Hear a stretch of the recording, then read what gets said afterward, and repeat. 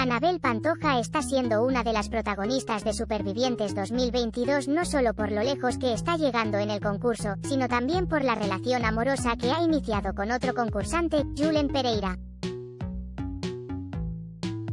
En la gala de Supervivientes emitida ayer se mostraba un vídeo en el que la sobrina de la tonadillera reflejaba sus intenciones de ser madre en un futuro muy lejano junto con Julen Pereira, al que conoció hace tan solo pocas semanas en Supervivientes.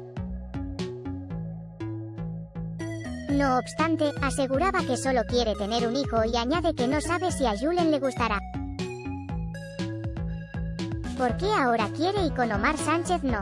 La concursante del reality ha repetido en varias ocasiones que no tenía ni la voluntad ni las ganas de ser madre, por lo que se rumoreaba que podría haber sido uno de los motivos principales de su separación de Omar Sánchez con el que solo estuvo casada algunas semanas.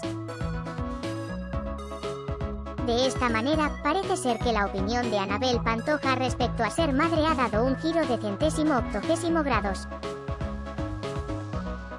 Opiniones sobre Anabel Pantoja y su deseo por ser madre el día en el que abandonaba el concurso como expulsado, Kiko Matamoros ya dirigió sus críticas hacia Anabel afirmando que todo es una estrategia de Anabel para ganar dinero y llegar más lejos en el reality.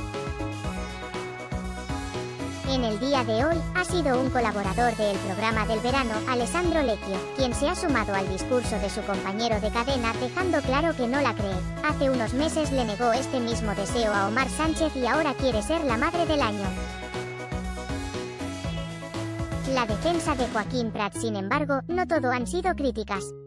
El presentador del programa, Joaquín Prat, ha defendido la relación de Anabel Pantoja y Julen Pereira asegurando que nadie finge una relación para ganar un reality.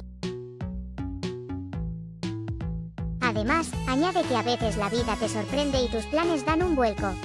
A pesar de todo, el presentador ha dejado claro que cree que la relación de Anabel y Julen no tiene futuro.